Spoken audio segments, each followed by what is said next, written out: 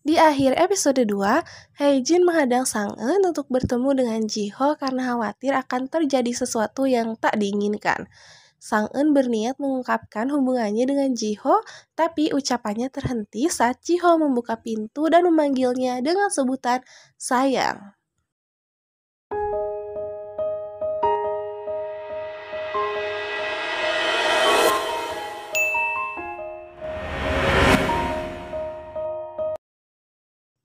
Di episode 3 mendatang, mereka berdua kembali makan seperti biasa. Kali ini nampaknya hidangan yang disajikan Sang Eun tidak enak.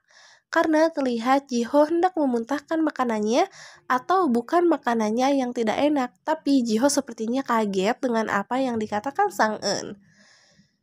Kemudian terlihat Hejin yang tiba-tiba muncul dan mengatakan kalau dia mengenal Sang Eun karena mereka dulu pernah bertemu.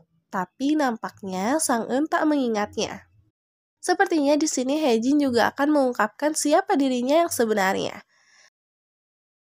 Hejin terus menggali informasi Sang Eun dan Jiho, hingga akhirnya Jiho melabrak Hejin karena terus menggali informasi tentang dirinya dan Sang Eun. Lalu malam hari terlihat ada seorang yang mengikuti Sang Eun. Tiba-tiba saja orang misterius itu menyerangnya. Untungnya Hejin datang tepat waktu dan menghajar orang misterius itu.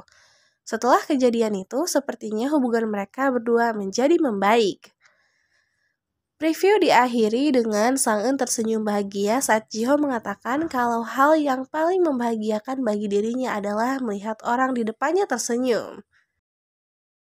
Mungkin itu saja untuk preview Love in Contract episode 3. Kalau gitu, makasih untuk semuanya udah nonton sampai akhir. Ketemu lagi nanti di video-video yang lain. Bye-bye!